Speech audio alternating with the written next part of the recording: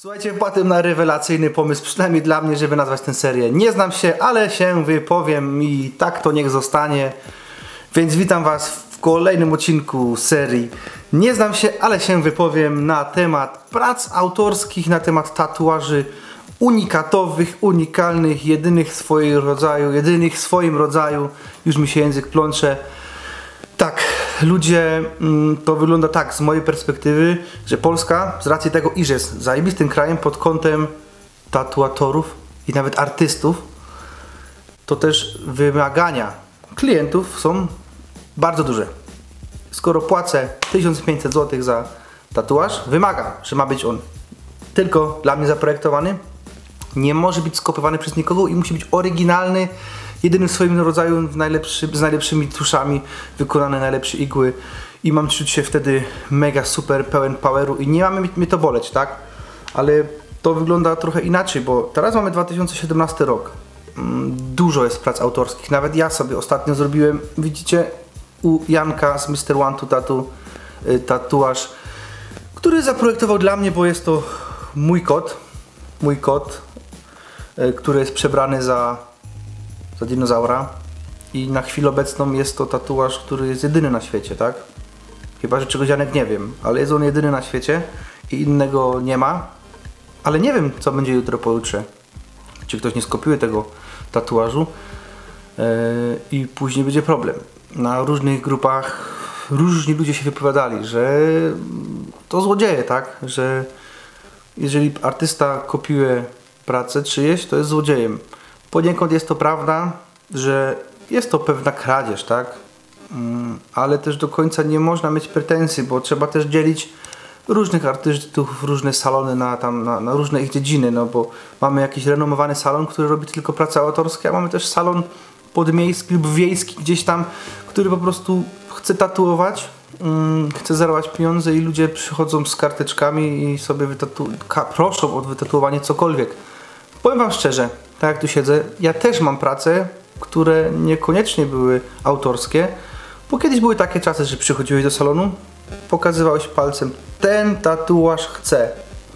Tatuażysta brał katalog, skanował, robił tobie ten tatuaż, bo ty chciałeś. I kiedyś nie było czegoś takiego jak tatuaż autorski. No gdzie tam 13-15 lat temu, jak ja zaczynałem, no to nie było czegoś takiego. Nie myślałem nawet o tym, żeby tatuaż autorski, żeby ktoś mi wykonał tatuaż pode mnie. Nie katalog, pach, ten tatuaż. Tu mam pełno takich. Tu było przerabiane, ale ta, ta, ta ciemna tutaj ręka to jest głównie y, tatuaż, który ten tatuaż chce. O, może ten tutaj, ten tutaj co widzicie, czekajcie, ostrość, ten tutaj diabełek na embrionie, to on trochę jest zmodyfikowany, ale i tak z katalogu powstał. Tutaj ta lewa strona to już trochę inaczej, ale tak to wygląda. Tak było paluch na katalog i jazda. Mało tego, będąc w Stanach Zjednoczonych w 2015 w Miami, gdzie słynny Miami Ink zabłysło przez kilka odcinków, kilkanaście, kilkadziesiąt odcinków ich super stylem, ich super y, atmosferą.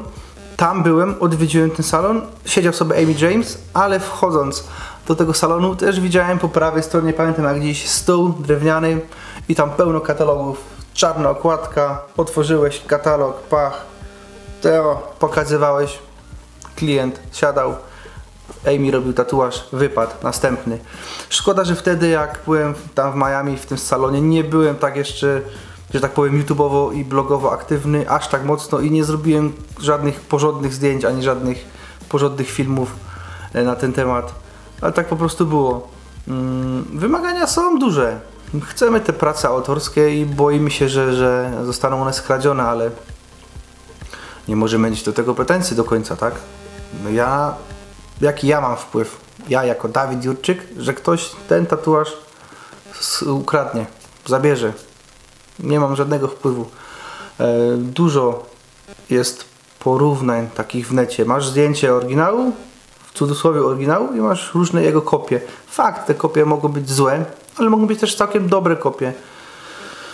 Y, trzeba też pamiętać, że nie każdy tatuator ma chęci, żeby, żeby robić swoje autorskie projekty. No i wtedy wychodzą takie sytuacje. Musimy się z tym pogodzić. Jest szał na tatuaż, jest szał na autorski projekt, jest szał na na to, żeby być oryginalnym, jedynym w swoim rodzaju, ale co ja mogę? Ja nic nie mogę. Nie wiem, nie obraźcie się na mnie to, co ja teraz powiedziałem. A może nawet nie zrozumieliście, bo trochę chyba za wiele tutaj teraz powiedziałem, ale powiedziałem to, co sądzę, zawsze to, co myślę, to mówię. Dajcie znać, jak je wy macie zdanie na ten temat pod tym filmem, dajcie w komentarzu znać. Mm, Jak zawsze, bo wasze zdanie jest ważne. Także ja dziękuję wam bardzo. Zapraszam na Instagrama, zapraszam do subskrypcji kanału na YouTubie, na oglądziny mojego Facebooka Projekt Inc. No i zapraszam do sklepu, gdzie możecie kupić różne fajne produkty, między innymi tą czapeczkę. Dziękuję wam bardzo i dajcie znać.